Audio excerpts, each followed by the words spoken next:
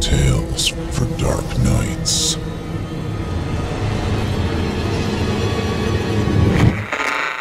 Want to make sure you never miss a Chilling Tales for Dark Nights video again? Be sure to subscribe and hit that bell to turn on notifications. The following program is a production of Chilling Entertainment and the creative team at Chilling Tales for Dark Nights, and a proud member of the Simply Scary Podcasts Network. Visit simplyscarypodcast.com to learn more about this and our other weekly storytelling programs.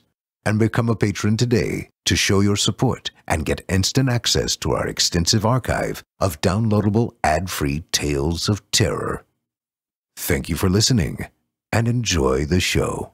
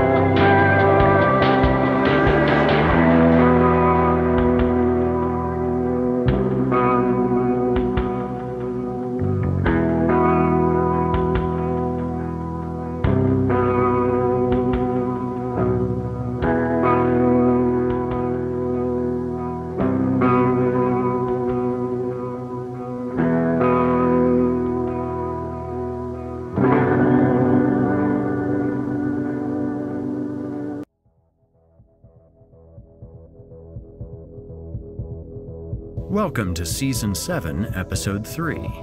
If you're just joining us this season, I'm your host, Erik Peabody. This season has introduced a few new changes, with the first being the new host intro and theme music composed by yours truly.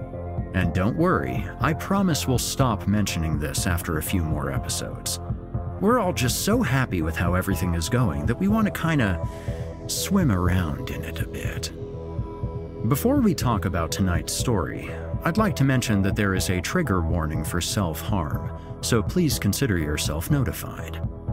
In this ghoulish tale, we are introduced to a fellow named Bobby who has a weird habit of drinking his own blood, and who will go to any lengths to get even just a small taste of it, even self-harm. But after nearly killing himself to satiate his craving, he ends up in the hospital and soon develops a craving for the blood of others. You're listening to the standard edition of this program. If you'd like to show your support and enjoy ad-free versions of this and hundreds of tales from our audio archives dating back to 2012, visit simplyscarypodcast.com and click Patrons in the upper menu to sign up today to get instant access from our friends at Chilling Tales for Dark Nights. Did I mention they were ad-free? Thank you for your support.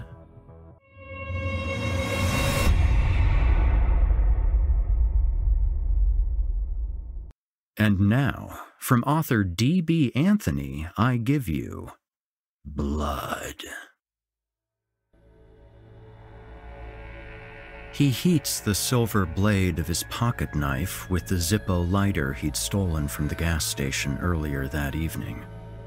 The blade begins to blacken as the temperature of the steel begins to rise. Once the blade is fully blackened, he puts a hand towel in his mouth and bites down on it to brace himself for the pain. He then presses the blade firmly against the skin of his left forearm. Bobby knew this would hurt more than simply slicing his wrist with the knife, but it was too dull to break the skin, and he didn't feel like searching for another one amongst the unpacked boxes in his new house. Besides, a burn would take longer to heal, meaning he'd have the wound to pick at longer to satisfy his weird craving for blood. Through his own research, meaning a quick Google search while he got bored in the bathroom once, he learned that his habit was called hemophagia, or simply autovampirism, which was apparently a mental disorder. Some websites said it was linked to childhood trauma or done for some type of sexual gratification. He knew his reason was probably the former of the two. His childhood was filled with nothing but trauma, and he didn't get any sexual gratification from it. He didn't know the real reason. He'd done it as long as he could remember, or cared to remember. His body was covered in scars from his bloodletting. Truth be told, he just really liked the flavor of it. The flavor would even change depending on his diet for the week. His blood would be sweeter if he drank only Pepsi and ate sugary foods. If he drank some right after having coffee, he would swear that it gave him more energy than simply drinking the coffee did. Same for energy drinks. If he drank alcohol, well, let's just say his favorite alcoholic drink was his blood after having a handle or two of whiskey.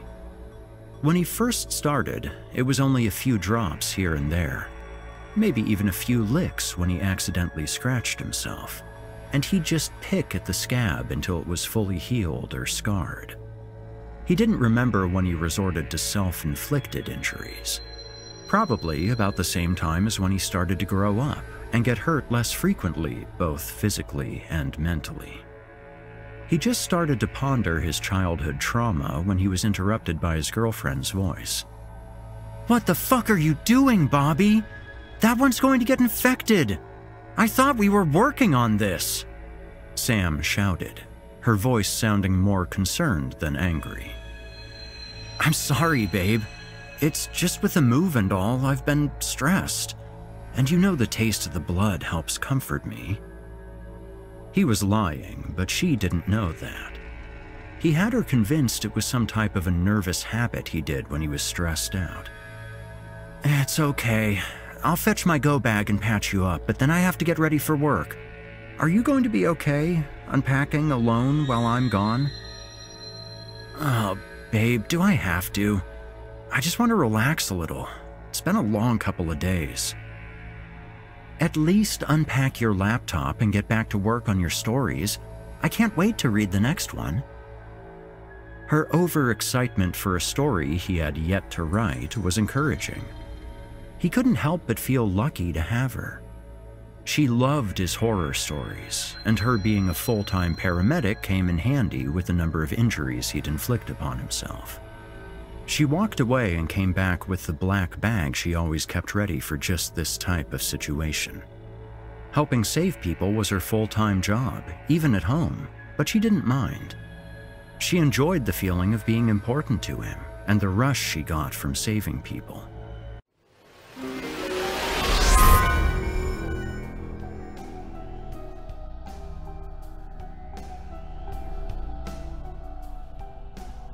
And now, a word from our sponsor, BetterHelp.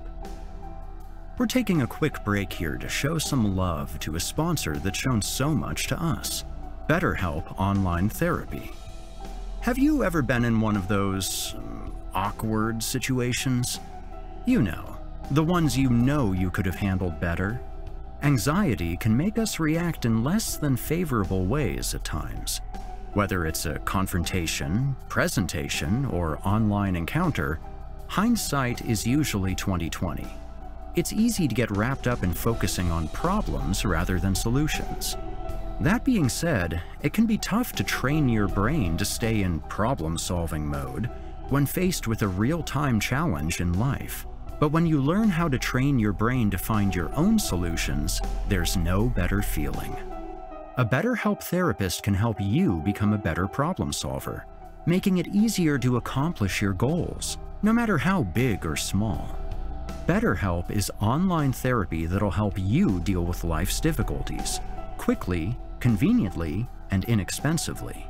It's helped me through countless situations.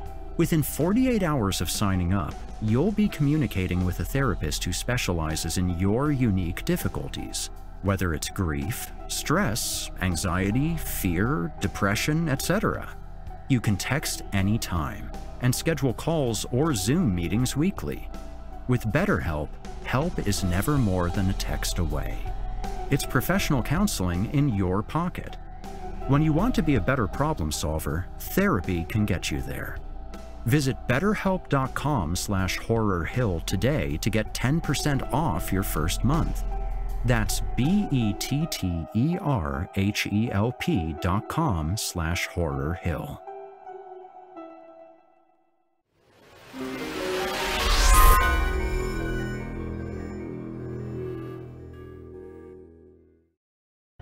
The only grievance he had with her was the fact that she was trying to fix him when he didn't feel like his habit was that bad.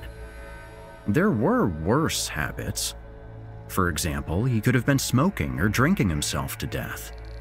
All this left him with were scars. You could work on the next chapter of your novel, she said, while dropping the bag on the ground next to him. Yeah, I don't know. I think I might scrap it. The whole premise just feels a bit childish. Childish? There's nothing childish about the chapter where the closeted bully bashes his homophobic alcoholic father's brains in and then lights their house on fire. Besides, I need to know how it ends. He laughed as she wrapped up his burn. Her constant encouragement was the only reason he hadn't given up on being an author and why he had published his first collection of stories in the first place. Hell, if not for her making him publish them, they probably wouldn't have been able to afford their new house, and he probably wouldn't even be alive. She became a paramedic partially because of him. They had met in high school, and she had been patching him up ever since. Though he thought she was smart enough to be a doctor, she decided she liked the rush of being an emergency responder and having an ever-changing work environment. Sam finished patching him up and kissed him before leaving for work. He was now alone with his thoughts in unfamiliar territory for the first time since high school. He decided to take Sam's advice and try and find his laptop so he could work on another horror story. He opened the boxes labeled Office and was digging around in them when the craving for his blood began to kick in. He found his letter opener in one of the boxes and took it into the bathroom with him. He stripped off his clothes and looked at himself in the mirror, looking at all the scars he'd acquired over the 25 years of his life. He unwrapped the latest wound to add to the collection. He examined the burn. It looked like he had burned straight to the muscle tissue. He planned on digging the letter opener into it to make it bleed, but he decided he didn't want to bear that much pain twice on the same day. Besides, the letter opener's two inch blade was sharp enough to slice his skin with barely any pressure or effort. What's one more scar amongst the countless ones he already had? He plugged the bathtub drain and started to let it fill with water as he attempted to relax. He played with the letter opener, examining its every detail. Sam had bought it for him as a reward for publishing his first book. It was pure silver, and she had had it engraved in cursive with the words, For opening your future fan mail. It always made him smile when he read it. He hadn't received any fan mail yet. At least, not that he knew about, because he hadn't checked the P.O. box he had opened for that since he published the book. He was too scared it would turn out to be hate mail instead. The fear of people hating his work kept him from publishing it in the first place.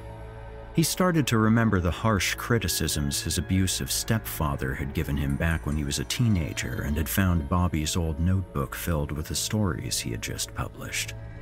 He could remember that day very vividly. It was the first time anyone else had ever read any of his horror stories.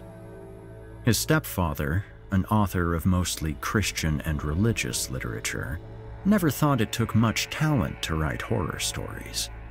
He made his disgust of the genre well known when he burned Bobby's collection of R.L. Stine's Goosebumps books and whipped him for reading Stephen King novels when he got older. He even despised horror movies. He'd always go on rants about how anyone associated with the genre was a Satanist or a cultist. Every time a new horror movie premiered, he'd petition the church to ban it from the local cinema to, quote, protect the community from satanic imagery, unquote.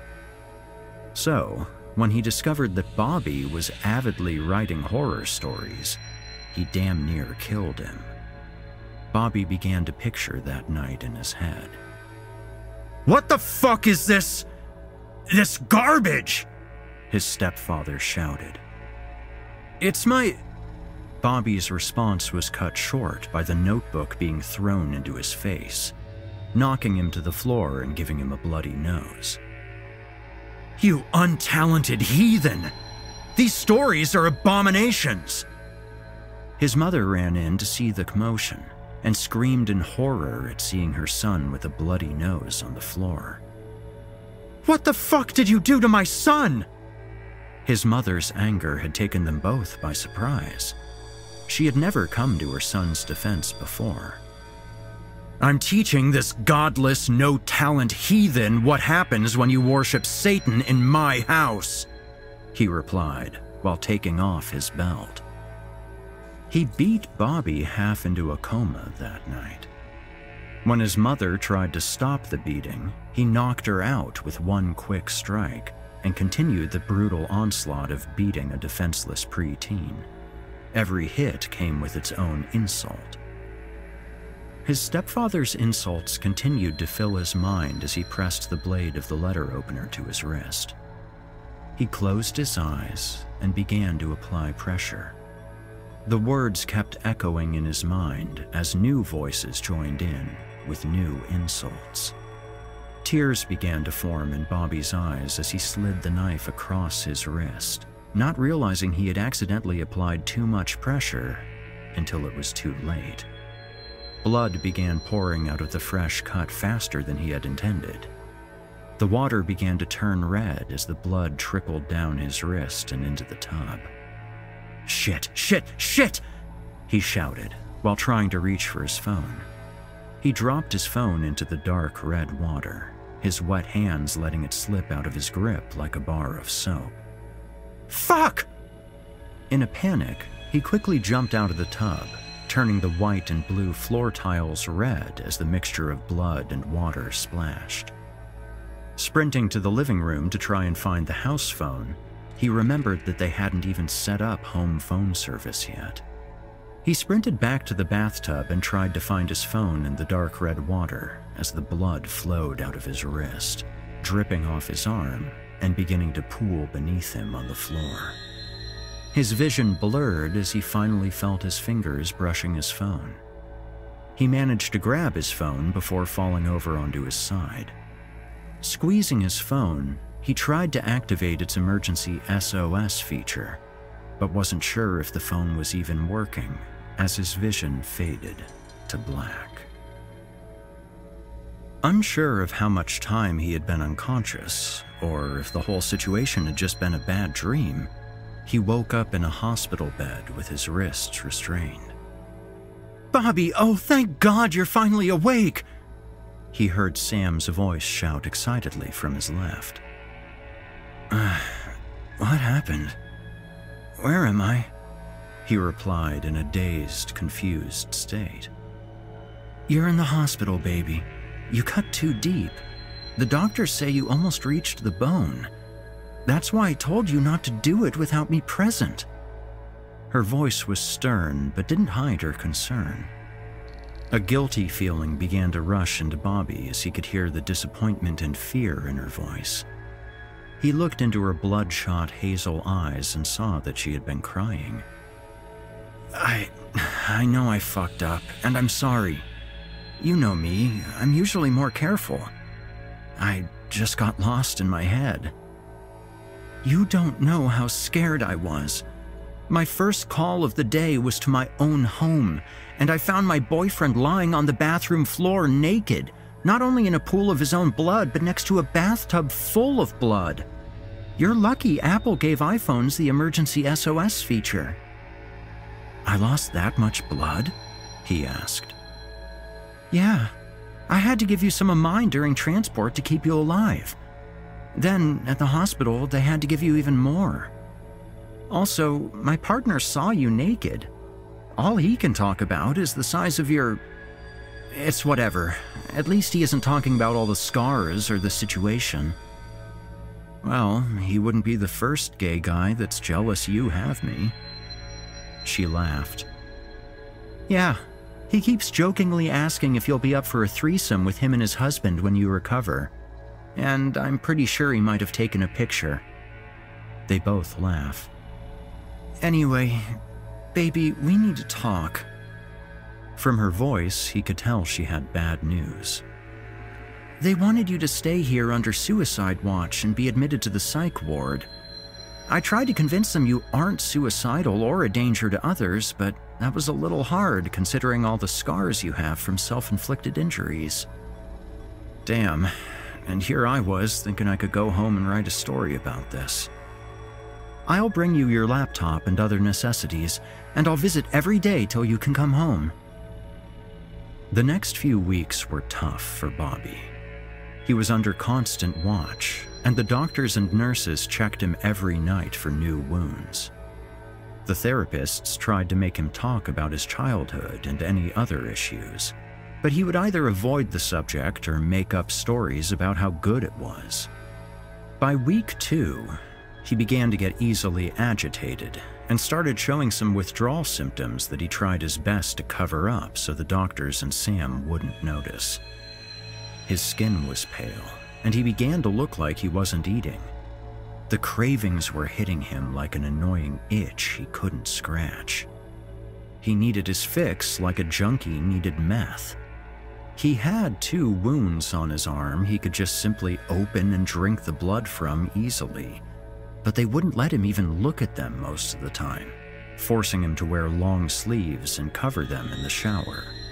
Their thought was, out of sight, out of mind. But that wasn't working for him. He wished he could go back in time just to taste the blood from the cut. He could have consumed the gallons of blood that went to waste on the floor or down the drain. By the start of week three, he was trying to bite his tongue until it bled, but he could never bite down hard enough or long enough without the nurses or doctors noticing. He was being driven to his limits, and Sam was the only one who knew him well enough to notice. She told him to focus on his stories, and it would take his mind off it, but writing a bloody horror story where someone else got to satiate their cravings wasn't appealing. When Sam came to visit on the Wednesday of week three, she acted differently than normal. What's wrong, Sammy? Bobby asked. Before answering, she carefully looked around the visitor center. Nothing, baby. I just. I, um. Well, spit it out, Bobby snapped, drawing the room's attention for a moment. Keep it down, Bobby, or I won't be able to give this to you. Give me what? Before answering, he felt Sam pass him something under the table. Looking down, he saw a manila envelope that he quickly stuffed into his pants pocket. Don't open it yet until you're alone, she whispered. Okay, but what is it? You'll see, baby. I volunteered to be on standby for the high school hockey game, but I have to go back to work tonight. I love you, and I miss you.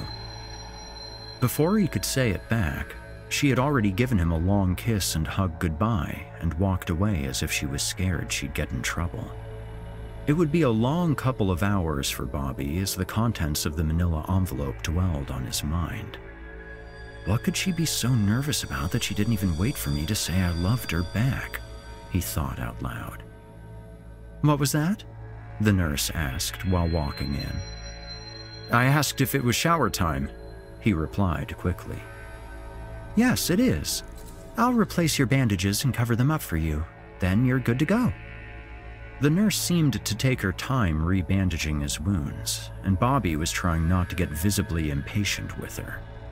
Of course, he'd get the new nurse without warning on the day he had something to open in the bathroom. It's like whatever god there was was playing a practical joke on him he didn't have the patience for. When she was finally done, Bobby practically leapt off the hospital bed into the bathroom. He quickly opened the manila envelope he had in his pocket all day, and a letter dropped out, along with a liter of blood in one of those hospital drip bags. He picked up the note and began to read. Dear Bobby, these past few weeks without you at home have been painful and lonely. I miss you so much. Watching you suffer in that hospital has been hard for me. I've tried convincing the doctors to let you come home and that all you need is me, but they say your erratic behavior points to some type of withdrawal. I now understand why you do what you do more than ever. So don't ask me how but I got this for you. Don't worry, it's my blood, so it is clean. Just try to pace yourself so you can get out of this hospital prison and back home with me, where you belong. Love, Sam. Bobby kissed the note as if he were kissing Sam to thank her. He quickly bit into the bag of blood like a predator that had just caught its first prey in weeks. He tried to pace himself, at first, but once the first drop hit his tongue, he couldn't help himself. As he drank more, he began to notice the difference in the flavor of her blood compared to his. Hers tasted far superior to his. The difference was like Pepsi compared to bargain brand cola. He assumed it must have been from her mostly healthy diet and active lifestyle. Before he could enjoy the taste anymore, the blood bag was little more than empty. He tried his hardest to get the last bit out, to no avail. Suddenly, the nurse knocked on the door. He looked at himself in the mirror and noticed the color of his skin had begun to come back. He also noticed his teeth and lips were red with blood. Are you okay in there? she asked. Yeah, I, uh, I just had to take a dump first, he replied. After a quick shower and a quick check for any new wounds or evidence of an attempt at self harm, the nurse left him alone so he could try and fall asleep. He couldn't, however. He now couldn't get his mind off how perfect her blood had tasted. He knew she was perfect, but not that perfect. The next day, when Sam came to visit, her eyes lit up with excitement when she noticed how much better he looked after one night. I can't believe that worked. You look so much better than you have in these past few weeks. The doctor said the nurses have been telling him how well you've been doing today, and that if you keep this up, you can be home by Sunday. Her voice was as excited as her eyes were. Yeah, thank you, baby. I know this must have been hard on you, and I've missed you more than anything, even the blood. She blushed. Out of curiosity, how did it taste? She asked. As perfect as you, my love. Blushing even more, she responded with another question. Do you think that'll get you through till Sunday? Um, you drank the whole bag, didn't you? She asked, slightly annoyed. You know me so well. That was supposed to be a four day supply, you jackass. She sighed. You're lucky I love you. I'll try to get you another bag before visiting hours end. No, you don't.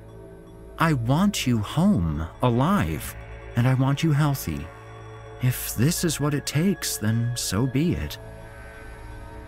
Only an hour would pass before she returned with a fresh bag of blood in hand for another visit. Only this time she was less nervous about smuggling it in. She passed it to Bobby underneath the table, and he shoved it into his pants pocket just like last time. Thank you, baby. Don't thank me. Thank the hospital for lax security around the blood bank. I was able to walk in and out, no problem, she said confidently. Aw, you robbed a bank for me? Bobby responded jokingly. Yeah, so just be careful, okay? That may be clean blood, but it's from some random person. Later that night, when it was time for a shower, he took out the new manila envelope that was hiding the blood bag and opened it. This time, he was a bit more hesitant. Was he really resorting to drinking some stranger's blood? He thought to himself. He looked in the mirror and began to ponder if other people's blood tasted better than his own, or if he had just been that blood starved. There was only one way to find out to taste the blood in the bag Sam had given him. Cautiously, he bit a small hole into it, only big enough to let out a few drops at a time. He then slowly pressed his tongue to the new blood like a child trying new food. Once the taste hit his tongue, he immediately bit down on the bag, accidentally spraying some on the floor. He impulsively and quickly began to drink the whole bag. Once it was gone, he started to lick the blood off the floor. Oh my god! The nurse screamed. She had entered the bathroom to check on him and found him with human blood dripping down the sides of his mouth. She tried to turn and run out of the room, but tripped over her own feet. She hit her head on his bed knocking herself unconscious and causing herself to bleed. As if instincts took over, Bobby impulsively ran over to her body and began dipping his hands into her blood and licking it off his fingers. He then began to wonder what blood would taste like directly from the tap. The nurse had just begun to awaken when Bobby forced a pen into her jugular and began consuming the blood that poured out. She tried to fight him, but he was too strong. She tried to scream, but he had already taken the pen and shoved it into her vocal cords. She was absolutely powerless to stop him. He knew this was wrong, but he couldn't stop himself. The blood tasted too good. He began to hear voices outside the door, and he panicked. There was now a dead body in his room, and he was covered in its delicious blood. In his head, he estimated he probably just consumed about three gallons of blood, maybe more. However, it wasn't enough. He wanted more. Not only that, he wanted more straight from the tap. He grabbed the pen and hid it on the hinge side of the door, ready to attack the next nurse or doctor to walk in the room. The door opened, and he heard a scream, followed by the doctor quickly calling for help as he got down to check on the nurse. This attack had to be quick. Bobby pounced on the doctor and quickly stabbed him in the jugular twice and began consuming his blood. This male doctor seemed as powerless to stop him as the nurse had been. With the blood not flowing out fast enough, Bobby bit down as hard as he could, ripping the doctor's throat open even more. Doctors and nurses began to rush to the room, to the chaotic scene, and were powerless to stop him. Bobby slaughtered and drank the blood of anyone that crossed his path. He felt like an invincible god. Alarms started blaring as patients and doctors tried to flee the psych ward.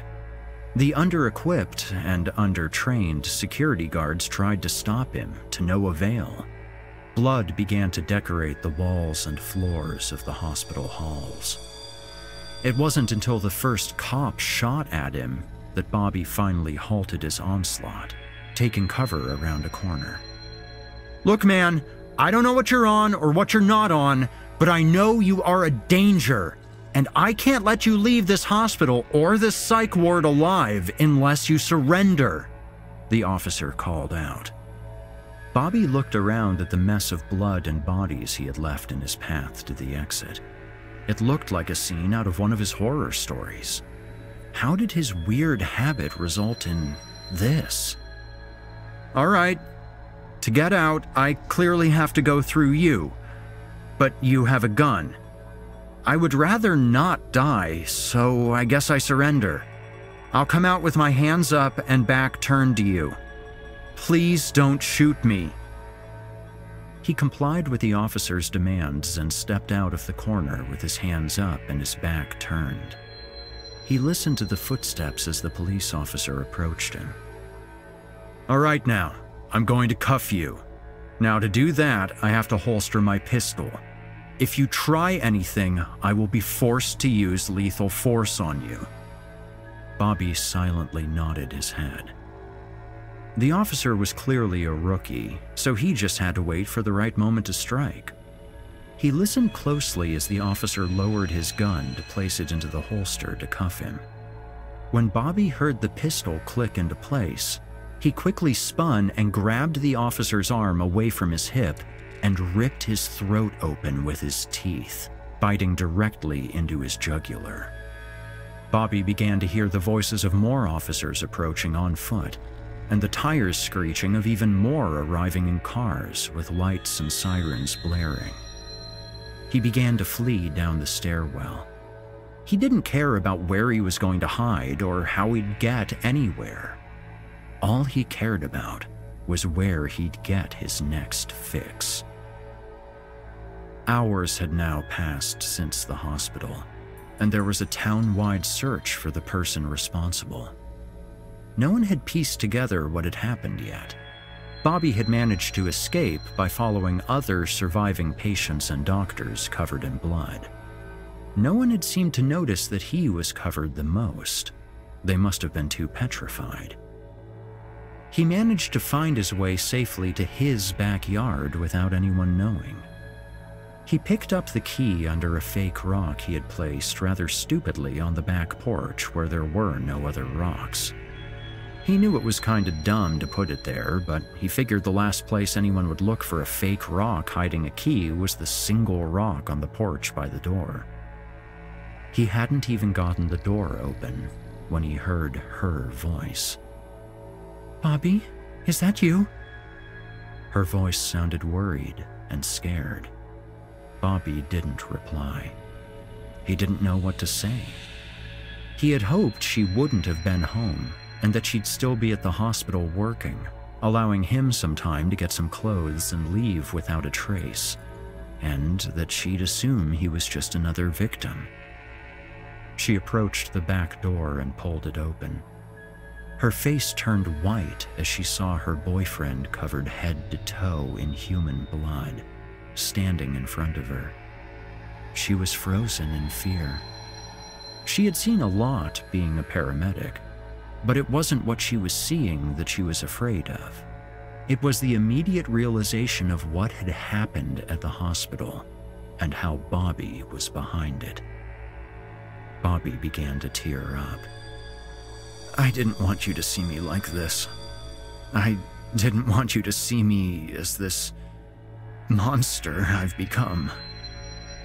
He collapsed into her as he started to sob smearing blood all over her clothes and skin. She wrapped her arms around him. I'm sorry, baby. I came home as soon as I couldn't find you at the hospital. I figured you'd come here. Her voice shook. This is your fault. If you hadn't given me that blood, we'd still be fine. I would have never known how good other people's blood can taste. Bobby yelled. You just had to go and be impatient. Sam, fearing for her life, pushed Bobby away and ran into the house, trying to close the door behind her. Bobby quickly recovered from her shove and wedged himself between the door and the doorway, forcing his way in and knocking Sam to the floor. Please, Bobby, you don't have to do this! You love me! Remember you love me! She screamed frantically. I love your blood! Bobby tried pouncing on her, but she rolled out of the way and sprinted towards the bathroom. He pursued her, but she managed to get the door shut and locked this time before he could get to her. Bobby banged on the door as hard as possible to attempt to force it open, while Sam screamed and pleaded for him to stop.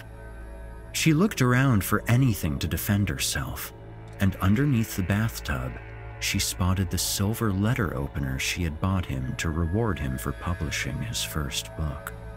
Bobby was just about to enter the door as she dove for the knife. The door flew open and Bobby pounced on her again. This time he wouldn't miss, but neither would she. The silver blade of the letter opener plunged straight into Bobby's heart. He felt the cold burn of the silver puncture his heart as he rolled out from on top of her. He began to hear sirens and the screeching of tires. His vision began to fade to black as blood pooled beneath him, turning the white and blue floor tiles red once again. The last thing he saw was Sam's terrified, heartbroken face. I'm sorry, my love.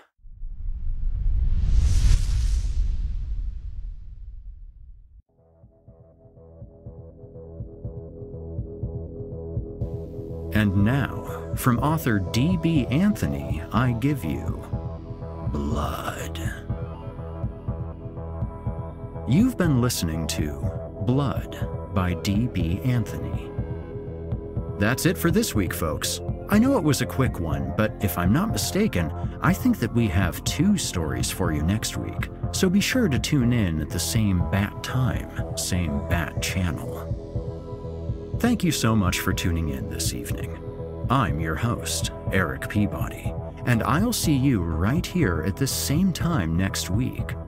After all, we're moving closer and closer to Halloween, so it would be a shame to drop out now, don't you think? If you enjoyed what you've heard on today's program, please take a moment to stop by our iTunes page, or wherever else you listen to your favorite podcasts, and leave us a five star review and a kind word. It makes a huge difference and would mean a lot to me.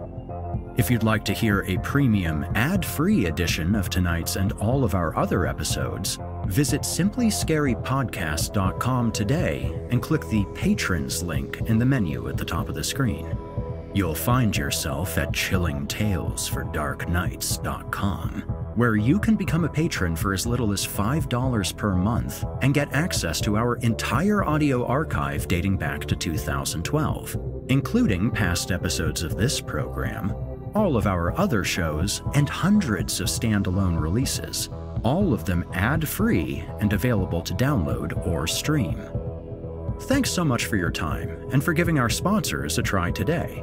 When you support our sponsors, you help support this show, and that means a lot to me. If you happen to use Facebook, Twitter, Instagram, or YouTube, you can follow and subscribe to Chilling Tales for Dark Nights there, where you'll get all of our latest updates and new releases and have the chance to interact with us each and every week. As for me personally, you can find me on Facebook, Twitter, and YouTube, username Viking Guitar, and also on Instagram as Viking Guitar Productions. Until next week, listener, when we meet up once again atop the horror hill for yet another dance with dark.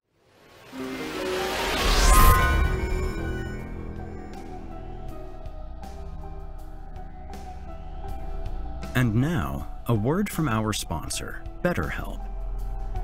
If you're thinking of giving therapy a try, BetterHelp is a great option. It's convenient, accessible, affordable, and entirely online. You get matched with a therapist after filling out a brief survey and can switch therapists at any time. That's why BetterHelp works for me and so many others. Since starting, I've found myself calmer, more mentally confident, and, dare I say it, less stressed. BetterHelp is a real, professional counseling tailored to your needs that you can do online. It's more affordable than traditional therapy, and for those who need it, financial aid is available. meaning the people who need it most can have better access to help that's, well, better. Thanks to BetterHelp, it's never been easier to care for your mental health. All you have to do is take the first step. Most anyone can benefit from counseling, both professionals and do-it-yourselfers. Whether you need to unload stress, get emotional healing, or help with anxiety and depression, BetterHelp is the tried and true tool to get you up to task again. This is no gimmick, folks. It's professional therapy online. Quick, discreet, convenient, and at a price that's attainable. Here's how it works. Within 48 hours of signing up, you'll be communicating with your own licensed therapist who specializes in your specific needs. You can reach out anytime and receive timely, thoughtful responses. You can also schedule weekly phone or video sessions at your convenience. In short, you'll never be winging it again. Your professional counselor will always be close at hand. No office visits necessary. It's professional help right in your pocket. And remember, you can be matched with a therapist in under 48 hours. When you want to be a better problem solver, therapy can get you there. Visit betterhelp.com slash horrorhill today to get 10% off your first month. That's B-E-T-T-E-R-H-E-L-P dot com slash horrorhill. Thank you for your support and for supporting our valuable sponsors.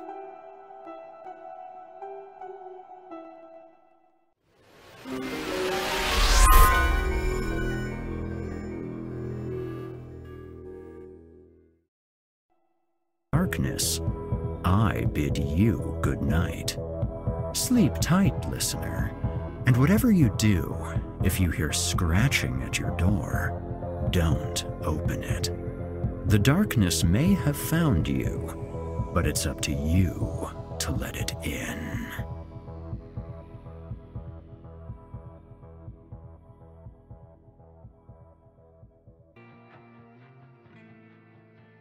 You've been listening to the Horror Hill Podcast, a production of Chilling Entertainment and the creative team at Chilling Tales for Dark Nights, and a proud member of the Simply Scary Podcast Network. Visit simplyscarypodcast.com today to learn more about our network and our other amazing storytelling programs. Tonight's episode was hosted by, and its featured tale performed by, yours truly, Erik Peabody. Selected stories have been adapted with the kind permission of their respective authors. Original music provided by Nikki McSorley and Erik Peabody. Finalization by Craig Groshek and S.K. Brown. Got a terrifying tale of your own that you'd like performed? I take submissions. Email it to us today at submissions at simplyscarypodcast.com to have your work considered for future production. If you enjoyed what you heard on tonight's program and are joining us on your favorite podcast app, please subscribe to us to make sure you never miss an episode and leave us a five star review and a kind word. Your feedback means a lot to me. You can also follow Chilling Tales for Dark Nights and yours truly on social media to connect anytime and get the latest updates on this and our other programs. If you're listening on the Chilling Tales for Dark Nights YouTube channel, do us a favor and hit the subscribe button and the bell notification icon as well to get more spooky tales from me and the crew and another episode of this program each and every week.